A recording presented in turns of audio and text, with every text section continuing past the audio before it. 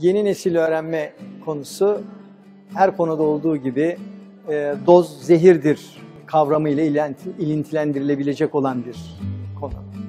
Çünkü e, bugünün teknik imkanlarının sunduğu avantajları kullanarak öğrenmeyi biz daha canlı, daha renkli hale getirebiliriz.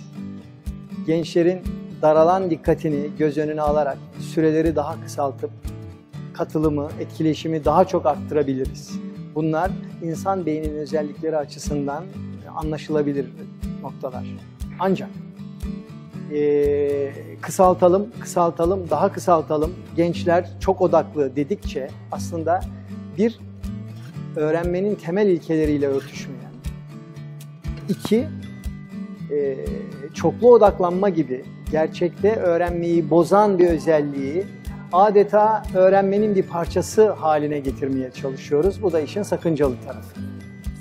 Yeni nesil öğrenme ile nesiller arasında bir bağ kurulabilir ve bu çok yararlı olur. İşte ters mentorluk denilen, e, daha önceki kuşağın yönetmekte, anlamakta, e, yapılandırmakta zorluk çektiği teknik araçların ve onun içinde bilgiyi arayıp bulma imkanlarının yeni nesil tarafından bir önceki kuşağa öğretilmesi iki kuşağı da birbirine yaklaştırır diye düşünüyorum.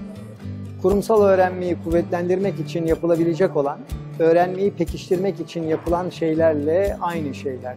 Bir en önemli özellik tekrar. Yani biz iki günlük bir eğitim verelim, liderlik eğitimi verelim, arkadaşlarımız lider olsun. Olmaz. Bu bir gelişim sürecidir. Bu gelişim sürecine mutlaka ölçerek başlamak gerekir.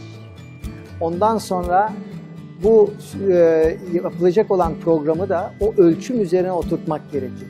Ölçek derken de mesela liderlik eğitimi ise ki liderlik tarzı ve kişilik özelliklerini ölçmek lazım ki insanlar hangi yönde hareket ederlerse daha başarılı olacaklarını o eğitim içinde görebilsinler. Yani bir beden herkese uysun, herkesi toplayalım, aynı şeyi anlatalım da sonuç almak zor.